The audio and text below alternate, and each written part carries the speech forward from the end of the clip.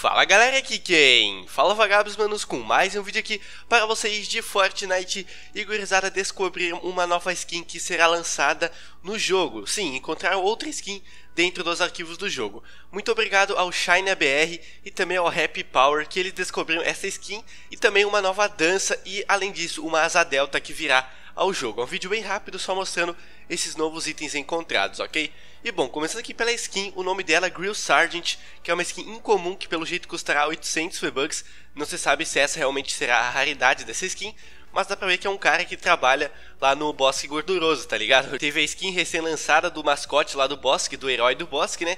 E também tem essa skin, dá pra ver que no chapéu da skin do Grill Sergeant tem o desenho do hamburguinho, né? Lá do Bosque Gorduroso. Então é um trabalhador, né? Lá daquela hamburgueria. Tem também o emote, né? A dancinha que se chama Hand Signals, que são sinais de mão, né? Dá pra ver que o personagem faz alguns sinais de mão e no final da dança faz digamos que um mini, uma mini dança lá do L, tá ligado? Aquela dança que bota o L na cabeça, faz uma dancinha daquela no final, só que bem rapidinha. E pelo jeito será uma dança rara, né? Custará 500 V-Bucks na loja. E por último também tem uma Asa Delta, que não se sabe o nome dela ainda. Está escrito TBD, mas acho que esse não será o nome dela. E não se sabe também a raridade dessa Asa Delta. Mas ela é muito parecida com aquela Servo, né? Que é do conjunto lá do Archetype, que já chegou na loja e tudo mais. Essa Asa Delta é muito bonita também, só que ela tem os detalhes em vermelho e branco, né? O que achei bem da hora também. Uma Asa Delta muito bonita. Então é isso, galera. Foi um vídeo bem rápido aqui só mostrando esses novos itens encontrados dentro dos arquivos do jogo. Provavelmente serão lançados na loja aí nas próximas semanas. Eu gosto de fazer esse estilo de vídeo porque